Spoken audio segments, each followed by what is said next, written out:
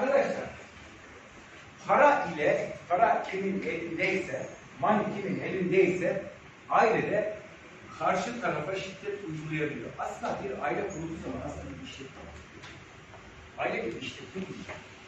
İyi şartlar iyi. Eş, çocuk ve e, baba uyumlu bir hareket ederse o aile sürekli gelişir, sürekli yenilenir, sürekli ileriye doğru gider. Ama o ailenin içerisinde dinamikler birbirleriyle kutuplaşırsa, kutuplaşırsa bu zarar verir. Ekonomik güç, ekonomik güç kimin elindeyse, ekonomik güç kimin elindeyse hükümran o oluyor. Bizim imparatorluklar niye yıkıldı zannediyorsun?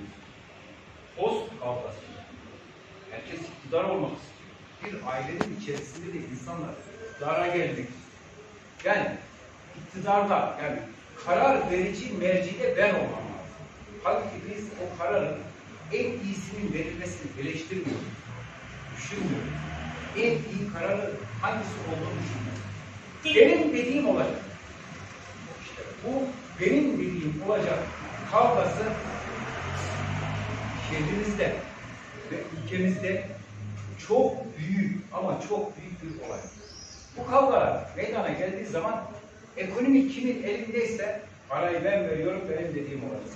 Aslında bu da ekonomik yönden bir insana erkek veya kadına aile içinde uygulanan bir şiddet arkadaşlar.